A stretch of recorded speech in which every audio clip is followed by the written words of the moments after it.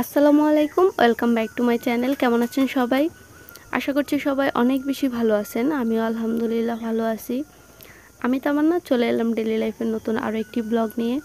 আশা করছি বরাবরের মতো ভালো লাগবে। তো আজকে আমি এই পর্যন্ত আসলে রোজা আসার পর থেকে ইফতারি শেয়ার করিনি। তো আজকে কিছু হালকা পাতলা ইফতারি শেয়ার করব। আসলে আমরা খুব বেশি, ইফতারিতে খুব বেশি কিছু বানাই না, কারণ অত খাওয়া যায় না। রোজার দিনে। তো আর মানুষও যেহেতু কম, তো এখন দিনে দুপুরে, বিকেলে যে কোনো সময় এরকম বৃষ্টি এসে পড়ে। আর বৃষ্টির সাথে সাথে জ্বরও আসে।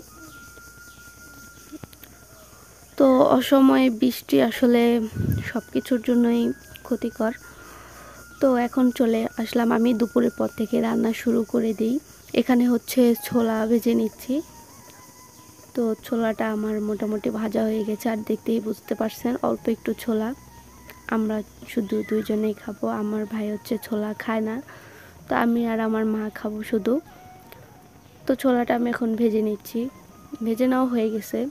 আর এরপরে হচ্ছে এখানে আমি আসলে নিয়েছিলাম, এটা আমি পুডিং বানাবো সাবুদানা দিয়ে।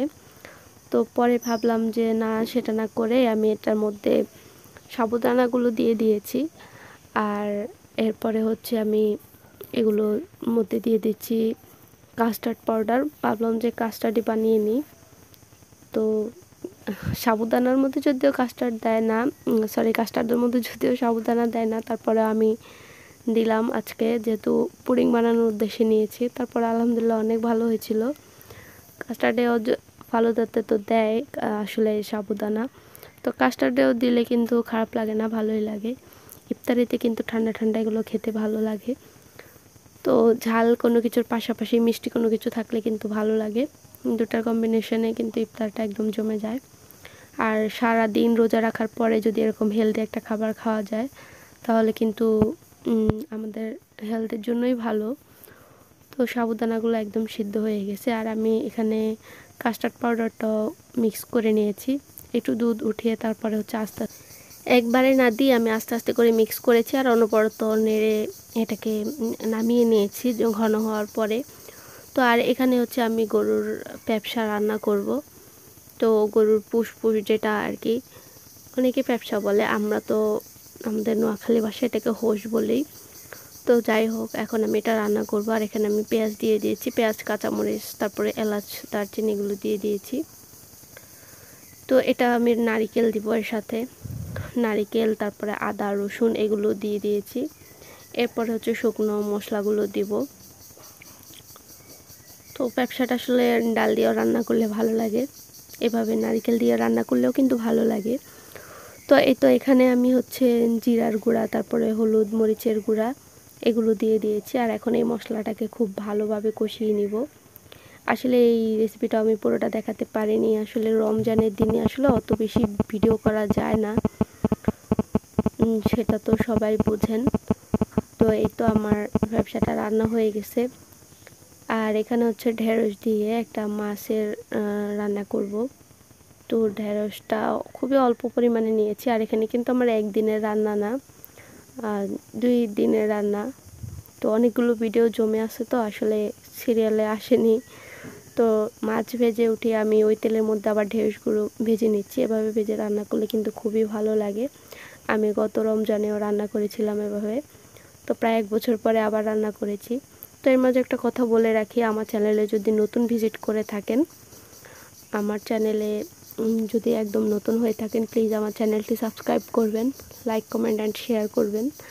তো এই তো দেখুন, আমার কাস্টারটা একদম রেডি একটু সাবধানা দেওয়ার কারণে ভালোই লাগতেছে আসলে। তো এখানে আমি আমাদের ভাইয়াকে দিব, বাটিতে করে দিয়ে দিব। তো সেজন্য একটু ভাষায় যে ফলগুলো ছিল ওগুলোই দিয়ে দিয়েছি। তবে কলা দিলে আমার কাছে কাস্টার্ডের সাথে বেশি ভালো লাগে। আনারটা দিলে একটু কালারফুল হয়, তবে কলাটা বেশি যায়। তো এই তো আলহামদুলিল্লাহ, ইফতার অনেক বেশি ভালো ছিল। আসলে আল্লাহর দিনগুলো আল্লাহ খুব সুন্দরভাবেই নেয়। রহমতের দিন, আজকে তো দশ, দশম দিন। তো এই তো এখানে দেখুন, আমি কাঁচা আমের শরবত বানিয়েছি। তো আসলে প্রসেসটা দেখানো সম্ভব না, অনেকেই বানাতে পারেন। আর এখানে হচ্ছে রুয়াবজা তোকমাই ইসবগুলের বুসি, এগুলো দিয়ে বানিয়েছি। আর তোকমা দানাগুলো আমি দুপুরের আগে ভিজিয়ে রেখেছি, কারণ এগুলো ভিজতে অনেক বেশি সময় লাগে। এই শরবতটা কালারফুল দেখতে খুবই সুন্দর লাগে, একটা গ্রিন একটা রেড কালার তো দেখতে ভালোই লাগে। তো বানিয়ে নিব। আর এরপরে সন্ধ্যার পরে ইফতার করে আর আমার অনেকগুলো অর্ডার জমে গেছে। আসলে এগুলো আমার ইমার্জেন্সি অর্ডার ছিল। তো আমি একটা খিমার কাটিং করে নিচ্ছি। আর ইনশাল্লাহ এটা নিয়ে আমি একটা ভিডিও করব। আসলে ভিডিও করে দেওয়ার মতো কেউ নেই, তাই এগুলো আসলে সাহস করে করা হয় না। যেহেতু এগুলো করতে একা আসলে করা যায় না একটা ক্যামেরা স্ট্যান্ড দিয়ে। তো আমি একটা খিমার কেটে নিচ্ছি। তো এটা নিয়ে ইনশাল্লাহ একটা ভিডিও করার ইচ্ছা আছে। তো সমস্যা হলো আমার সবগুলো খিমার স্টক আউট হয়ে গেছে। ইনশাল্লাহ খুব তাড়াতাড়ি চলে আসবে আমার খিমারের কাপড়গুলো। এগুলো হচ্ছে লিলেন কাপড়। তো আমার বেশ অনেকগুলো রমজানের আগে পরে অনেক অর্ডার এসেছে আর সবগুলো সেল হয়ে গেছে। তো কেউ যদি নিতে চান, আমি আমাকে কমেন্টস বক্সে জানাবেন। আমি এটা নিয়ে একটা ভিডিও করব ইনশাল্লাহ এই খিমার নিয়ে। আমার এই খিমারগুলো অনেক বেশি মানুষে পছন্দ করে। তো ভিডিওটা এই পর্যন্ত